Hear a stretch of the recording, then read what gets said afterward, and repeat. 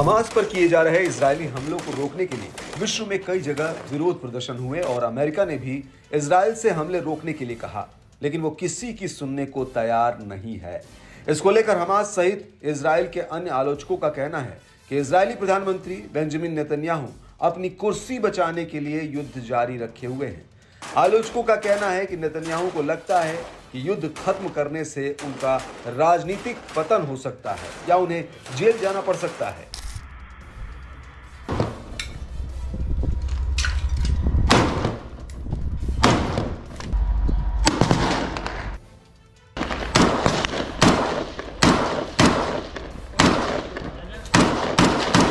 अब इसराइल को समर्थन करने वाले अमेरिका के राष्ट्रपति जो बाइडेन ने भी कुछ ऐसी ही बात बोली है, जो अभी तक इसराइल के आलोचक कहते आए हैं। बाइडेन ने कहा कि लोगों के पास ये सोचने के लिए कई कारण हैं कि नेतन्याहू सत्ता में बने रहने के लिए गाजा में युद्ध को आगे बढ़ा रहे हैं। हालाँकि बाद में उन्होंने अपने बयान को घुमाते हुए कहा कि उन्हें व्यक्तिगत रूप से नहीं लगता कि नेतन्याहू राजनीति कर रहे हैं। उन्होंने कहा कि नेतन्याहू हमास में बंधक बनाए गए बंदियों की रिहाई के लिए कुछ भी करने को तैयार हैं।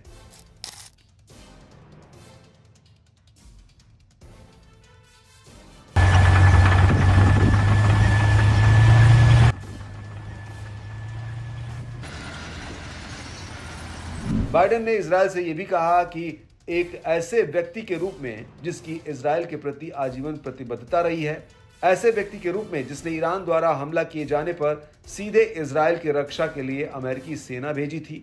मैं आपसे एक कदम पीछे हटने के लिए कहता हूँ। सोचे कि अगर ये मौका चला गया तो क्या होगा? हम इस मौके को नहीं खो सकते। ये युद्ध समाप्त होने और उससे आगे बढ़ने का समय है। उनका इशारा था कि अब इसराइल को युद्ध समाप्त कर वहाँ आने वाले चुनाव को देखना चाहिए। अमेरिकी राष्ट्रपति ने इसराइल में उन लोगों से भी अपने रुख पर पुनर्विचार करने को कहा कि जो लंबे समय से युद्ध की वकालत कर रहे हैं।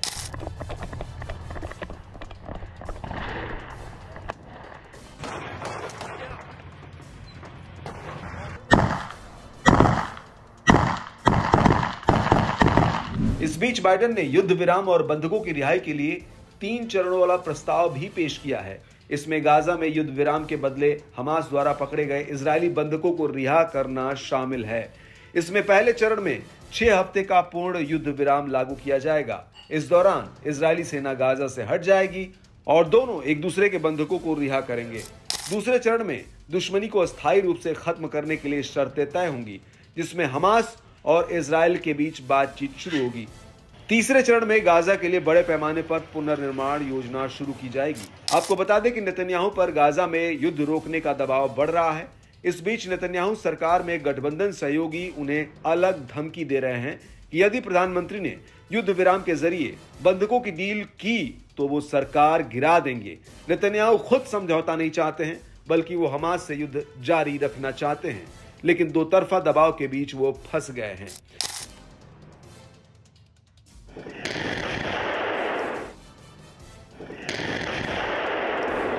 इसराइल इस बात पर फंसा हुआ है कि हमास ने समझौते की सभी शर्तें मान ली है। तो इसराइल के पास ये भी मौका नहीं है कि वो हमास पर कोई आरोप लगाकर युद्ध को खींच सके। हमास खुद इसराइल पर आरोप लगा रहा है कि उसे समझौता स्वीकार करने में कोई आपत्ति नहीं है, लेकिन इसराइल युद्ध रोकने के लिए तैयार नहीं है।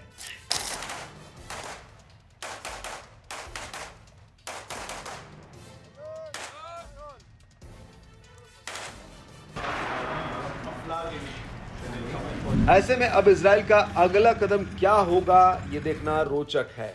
अगर इसराइल समझौते की शर्तें नहीं मानता है तो फिर अमेरिका का रिएक्शन क्या होगा, इस पर भी नज़रें रहेंगी। लेकिन एक बात साफ़ है कि इसराइल पर अब युद्ध रोकने का दबाव काफ़ी ज़्यादा बढ़ गया है। और दूसरी तरफ़, उसकी सरकार जाने का डर भी बराबर बना हुआ है।